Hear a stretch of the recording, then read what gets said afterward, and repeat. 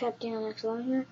I'm going to show you my um, Wild Grinders um, collection. I have two so far. Uh, maybe I'll have all six maybe by maybe in like two months. So yeah, first I'll start off with the first one, which is meaty. I'm going to turn this all the way around, just something really cool. Really cool and very good use on video to look this way or to look that way. Or just go full head all around. So yeah, this is pretty cool. And his tech deck is pretty sick. And it's got bite marks. And of course you know that right away because he's a dog.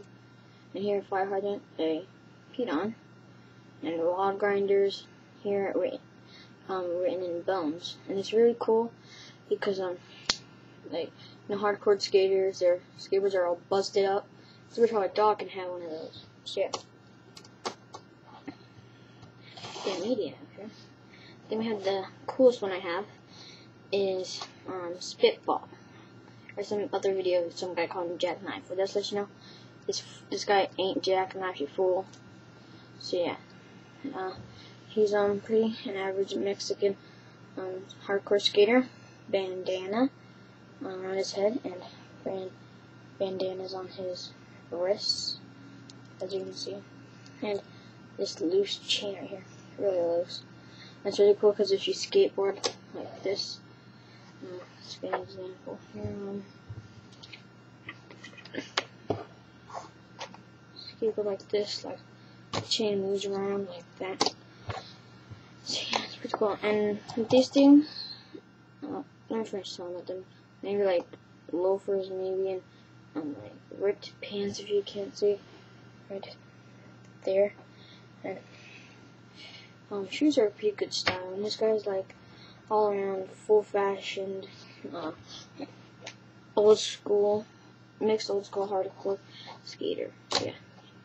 What's really cool about these is when you buy a package of these, that you're actually buying a magnet and a tech deck. A magnet person, because look at, you can still do tricks. So yeah, it's pretty fun. And deck. pretty, it's pretty sick even though you just have one. It's pretty cool.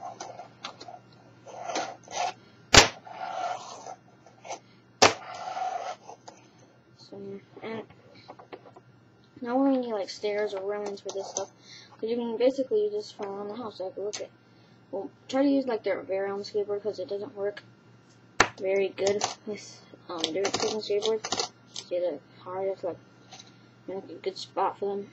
Takes a couple minutes to do that. But the board doesn't really sit. You can use like a pen as a grinding bar stairs.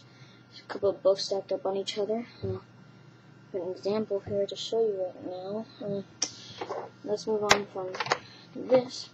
And I'm to start talking about the group wild grinders.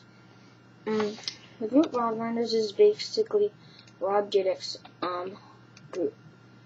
Now, Rob Dyrdek's group, to see a group that he made when he was a kid. He had to do this for um some for some presentation for Walmart. It's supposedly what he said. So, um, WG, their sign. So, yeah, just so super cool.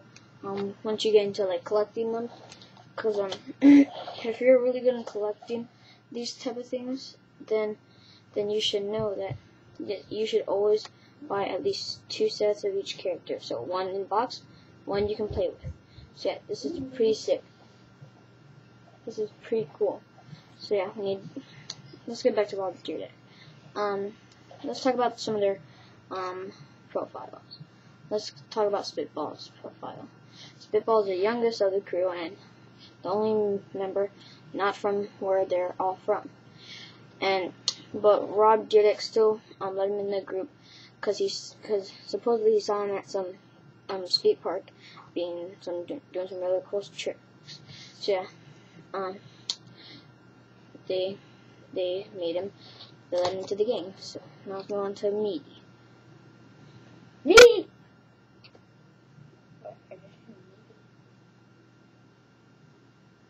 So yeah, let's move on to me.